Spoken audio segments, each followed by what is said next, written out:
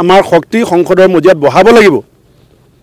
আমি কিমান নিমাতি কইনা পঠাম গৌৰৱ গগৈ যদি হাৰে অসমীয়া জাতি হাৰি যাব সংসদৰ মজিয়াত। বিজেপি আৰ এছ এছ জিকি যাব।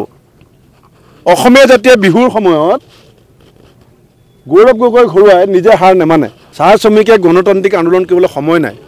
কাৰণ তেওঁলোক বাগানত যদি নাযায় দিনটো নচলিব। গতিকে ঊনৈছ তাৰিখে আন্দোলন হ'ব। ঊনৈছ তাৰিখেতো ভোটদান নহয়। বিজেপিৰ প্ৰতাৰণাৰ বিৰুদ্ধে গণসংগ্ৰাম। যোৰহাটৰ যুঁজ এতিয়া গৌৰৱ গগৈ ভাৰ্চাছ বিজেপি হৈ থকা নাই। যোৰহাট মাজুলীৰ যুঁজখন এতিয়া অসমীয়া জাতিৰ স্বাভিমান আৰু সাম্প্ৰদায়িক ৰাজনীতিৰ মাজত হৈ আছে। সাম্প্ৰদায়িক চুকাফাৰ আদৰ্শ কি আছিলে? মহাপুৰুষ শংকৰদেৱৰ আদৰ্শ কি আছিলে? সেয়া বিজেপিয়ে মুখিমূৰ কৰিব বিচাৰিছে। গৌৰৱ গগৈ ডাঙৰীয়াই সংসদত অসমীয়াৰ শৌৰ্য বীৰ্যৰ প্ৰতীক হয়। অসমীয়া জাতিৰ স্বাভিমান হয়। আপুনি কোন দলক ছাপোৰ্ট কৰে ডাঙৰ কথা নহয় সাংসদত যেতিয়া এজন অসমীয়াই বুকু ফিন্দাই থিয় হয় সংসদত যেতিয়া এজন অসমীয়াই ৰাজহাৰ পোন কৰি প্ৰধানমন্ত্ৰীৰ চকুত চকুত হৈ কথা কয় তেতিয়া যোৰহাটৰ এজন মানুহ যি দলৰ নহওক তেওঁৰ বুকুখন উফন্দি উঠে। আৰু সেই কথা আমি এতিয়া পাহৰিব নোৱাৰোঁ। আমাৰ শক্তি সংসদৰ মজিয়াত বঢ়াব লাগিব। আমি কিমান নিমাতি কইনা পঠাম? আমি গাঁৱত কান্দি থাকিম মাজুলীত কান্দি থাকিম আৰু পাৰ্লিয়ামেণ্টত গৈ নিমাতি কইনা হৈ থাকিব আমি এই কথা কিমান সহ্য কৰিম? এই কথা আমি যোৰহাটলৈ গৌৰৱ গগৈক কিয় আনিলোঁ? গৌৰৱ গগৈক আমি ৰাজ্যসভালৈ পঠাব পাৰোঁ গৌৰৱ গগৈক আমি নগাঁৱত দিব পাৰোঁ কাজিৰঙাত দিব পাৰোঁ। যোৰহাট মাজুলীৰ মানুহে যি সিদ্ধান্ত ল'ব আহি থকা সময়ত অসমৰ মানুহে সেই সিদ্ধান্ত ল'ব। আৰু সেইকাৰণে আমি যোৰহাট মাজুলীলৈ গৌৰৱ গগৈ ডাঙৰীয়াক আনিছোঁ। মোৰ দৃঢ় বিশ্বাস জাতিয়ে এই ঊনৈছ তাৰিখে পৰাজয় বৰণ নকৰে। গৌৰৱ গগৈ যদি হাৰে অসমীয়া জাতি হাৰি যাব সংসদৰ মজিয়াত। বিজেপি আৰ এছ এছ জিকি যাব।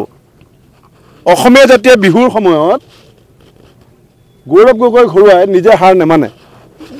আমাৰ অসমীয়া জাতিয়ে নমস্কাৰ কৰা এটা পৰম্পৰা আছে সেৱা কৰা এটা পৰম্পৰা আছে। কালি মুখ্যমন্ত্ৰী ডাঙৰীয়াই অমিত শ্বাহ ডাঙৰীয়াক সেইটো কি কৈছে? এখন ৰাজ্যৰ তিনি কোটি চল্লিছ লাখ মানুহৰ এজন মুখ্যমন্ত্ৰী। তেওঁৰ যিটো শাৰীৰিক যিটো কালি ভাৱমূৰ্তি গৃহমন্ত্ৰীজনৰ সন্মুখত সেইটোৱে মই কথাটো চাৰ্টি মই কোৱা কথাটো প্ৰমাণ নহয় জানো? মই যে কৈ আছোঁ যে মানুহজনৰ দুৰ্নীতি ভ্ৰষ্টাচাৰৰ অভিযোগ বিজেপিৰ টেবুলত আছে গোপীনাথ বৰদলৈ ডাঙৰীয়াৰ পৰা তৰুণ গগৈ ডাঙৰীয়ালৈকে আপোনালোকেও বহুত মুখ্যমন্ত্ৰী দেখিছে। কেন্দ্ৰীয় গৃহমন্ত্ৰীজনৰ সন্মুখত আমাৰ মুখ্যমন্ত্ৰী ডাঙৰীয়াই যি ধৰণে ৰাজহাঁহডাল বেকা কৰি পেলালে এইটো কাৰ স্বাৰ্থত?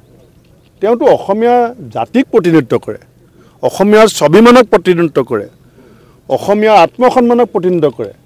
ব্যক্তিগতভাৱে আদৰ্শগতভাৱে মই তেওঁক বেয়া পাব পাৰোঁ। কিন্তু মোক পৃথিৱীৰ যিকোনো এজন মানুহে যদি সোধে যে আপোনাৰ মুখ্যমন্ত্ৰীৰ নাম কি মই কি বুলি ক'ম? তাৰমানে মই এনেকুৱা এজন মানুহক মই মোৰ ৰাজ্যখনৰ মোৰ মুখ্যমন্ত্ৰী যিজনৰ সমপৰ্যায় অমিত শ্বাহ ডাঙৰীয়া বয়স কিমান? চাই ল'ব গুগলত। হিমন্ত বিশ্ব শৰ্মা ডাঙৰীয়াতকৈ অমিত শ্বাহ ডাঙৰীয়া বয়সত ডাঙৰ নহয় নহয়। আৰু কেন্দ্ৰীয় গৃহমন্ত্ৰীজন অসমৰ তিনি কোটি চল্লিছ লাখ মানুহৰ প্ৰত্যক্ষভাৱে নিৰ্বাচিত এজন মুখ্যমন্ত্ৰী ইমান যে ৰাজহাঁহ বেকাৰ কৰিছে। এইটো অসমীয়া জাতিৰ স্বাভিমানত লগা নাই জানো? কিয় বেকাৰ কৰিছে ইমান? কাৰণ লগত ই ডি আছে। তেওঁৰ লগত চি বি আই আছে তেওঁৰ লগত ইনকাম টেক্স আছে আৰু এই গোটেইকেইখন E D C B I police গতিকে সমৰ্পণ আত্মসমৰ্পণ আত্মসমৰ্পণ গোটেই জীৱন কৰি আছে কালিও কৰিছে। উজনি অসমততো পাঁচখন পাম। বাকীকেইখনত মই এতিয়ালৈকে নিৰ্বাচনী প্ৰচাৰ চলাবলৈ যাব পৰা নাই।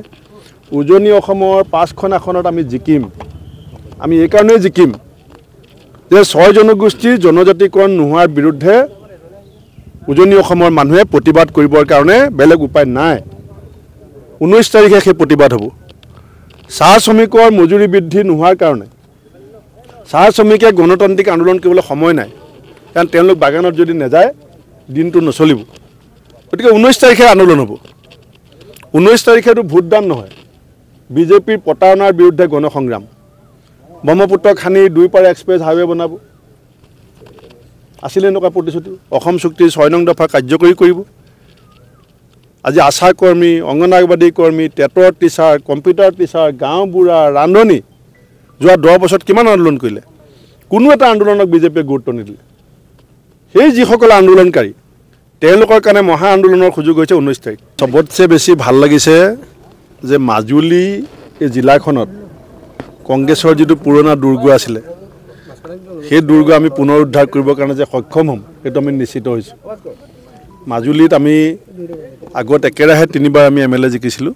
মাজত আমি পৰাজয় বৰণ কৰিছোঁ। কিন্তু এইবাৰ গৌৰৱ গগৈ ডাঙৰীয়াই যিকেইটা দিন মাজুলীলৈ আহিছিলে সেই গোটেই কথাখিনি আমি প্ৰত্যক্ষ কৰিছোঁ। মই মাজুলী জিলা কংগ্ৰেছ ইয়াৰ আমাৰ দুখন ব্লক কংগ্ৰেছ ইয়াৰ দলৰ নেতাকৰ্মীৰ যিটো উৎসাহ সেইটোৰ পৰা মই নিশ্চিত হৈছোঁ। আৰু মাজুলী আমাৰ উজনি অসমৰ সাংস্কৃতিক আধ্যাত্মিক প্ৰাণকেন্দ্ৰ। আমাৰ সাংস্কৃতিক আধ্যাত্মিক ৰাজধানী। গতিকে ৰাজধানীত যেতিয়া কংগ্ৰেছৰ প্ৰতি আমাৰ প্ৰাৰ্থীজনৰ প্ৰতি ৰাইজৰ যিটো উৎসাহ উদ্দীপনা সহানুভূতি সমৰ্থন দেখিছোঁ এই কথাটোৱে গোটেই উজনি অসমত চুই যাব। পাঁচটা সমষ্টিত মাজুলীয়ে ডাঙৰ প্ৰভাৱ বিস্তাৰ কৰিব। আমি সোতৰ তাৰিখে ৰাহুল গান্ধী ডাঙৰীয়াক নিমন্ত্ৰণ কৰিছোঁ। সোতৰ তাৰিখে আগবেলা ডিব্ৰুগড় পিছবেলা যোৰহাট আহিব লাগে বুলি মই এখন চিঠি লিখিছোঁ। আজি সন্ধ্যালৈকে উত্তৰ পাম বুলি আশা কৰিছোঁ। আজিও আপুনি গম পাব তিনিচুকীয়াত বিজেপিৰ জিলা পৰিষদৰ প্ৰাক্তন সভাপতি মৰাণ। মৰাণ ডাঙৰীয়া আজি কংগ্ৰেছ দলত যোগদান কৰিব। অহা যোৱা চলি থাকিব। কিন্তু মূল কথাটো হৈছে ৰাইজ। নেতা ৰাইজে পাতে। গণতন্ত্ৰটো আৰু বাপেকৰ পিছত পিতেক পিতেকৰ পিছত আমুক এনেকুৱাটো ইমান নচলে। এজন দুজনৰ কথা বেলেগ। কিন্তু ৰাইজে নেতা পাতিব।